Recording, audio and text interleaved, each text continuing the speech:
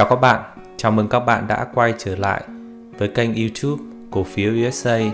Trong video ngày hôm nay, cổ phiếu USA và EasyTech Class sẽ chia sẻ cùng các bạn cách bán một cái quyền chọn Cash Secure Put ở trên sàn Robinhood.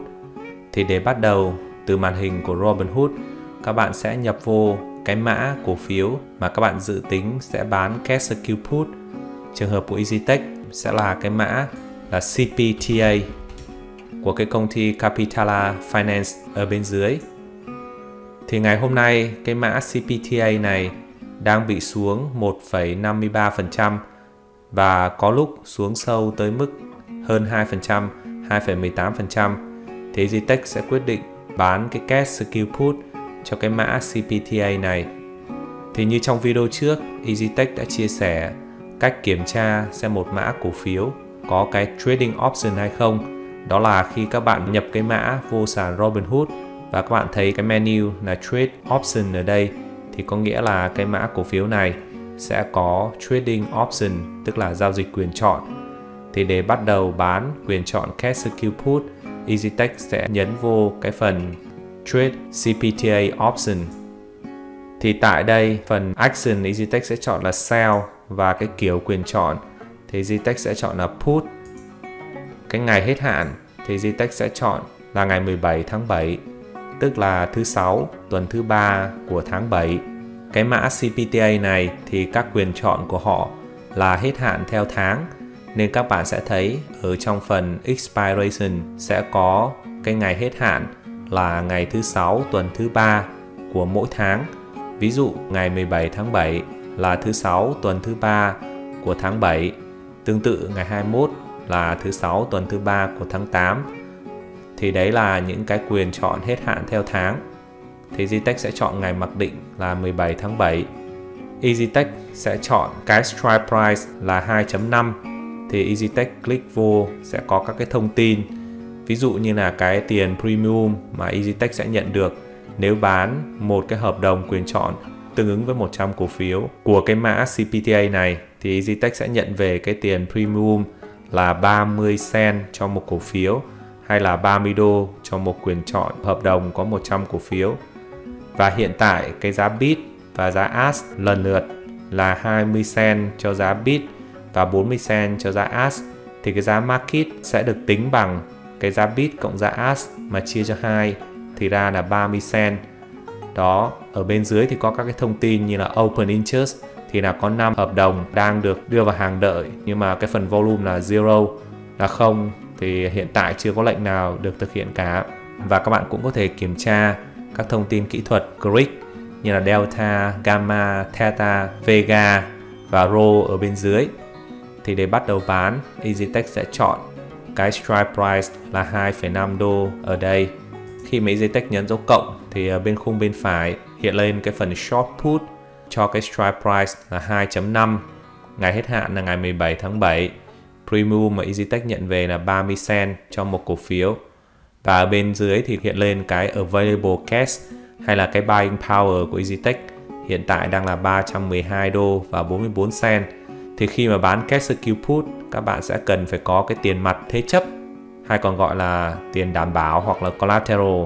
Cái khoản tiền này phải đủ để nếu mà trong trường hợp cái hợp đồng của các bạn bị expire in the money, thì sàn sẽ tự động mua toàn bộ cái cổ phiếu ở cái giá strike price trong cái hợp đồng put của các bạn thì EasyTech đã có đủ tiền để có thể mua được 100 cổ phiếu của CPTA ở cái mức strike price là 2.5 hay tương ứng là 250 đô cho 100 cổ phiếu. Ở đây EasyTech có 312 đô nên đã đủ tiền, thì EasyTech sẽ nhấn continue để tiếp tục.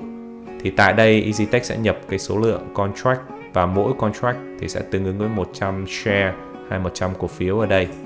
Và cái giá limit price thì Ztech sẽ để là đúng bằng cái giá market, có nghĩa là cái giá bidding cộng với giá ask 20 cent cộng 40 cent chia đôi thì được là 30 cent hay là 0,3 đô.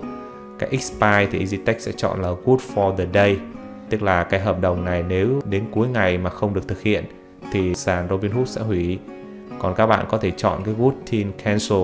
Sàn sẽ giữ cái lệnh của các bạn tới khi nào được thực hiện thì thôi, hoặc nếu quá 90 ngày mà vẫn không được thực hiện thì khi đó sàn mới hủy. EasyTech sẽ chọn Good for Day. Và cái min credit ở đây là cái số tiền mà EasyTech sẽ nhận về là 30 đô. Khi mà bán cái hợp đồng cash secure put này thì cái này sẽ được tính vô cái phần break even.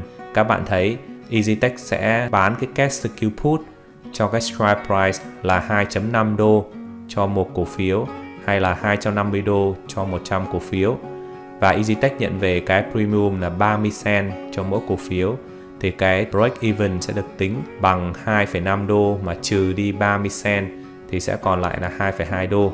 EasyTech sẽ nhấn review order đó và nhấn submit để đặt cái lệnh bán cash secure put.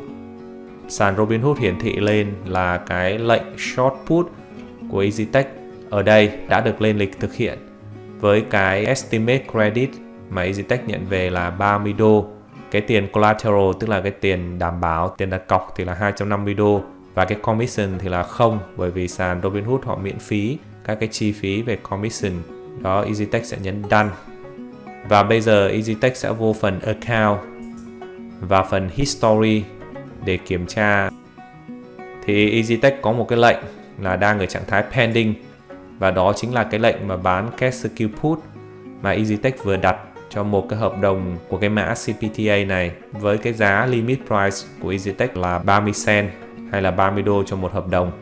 Bây giờ EasyTech sẽ quay lại màn hình trang chủ của Robinhood và tra cứu lại cái mã CPTA.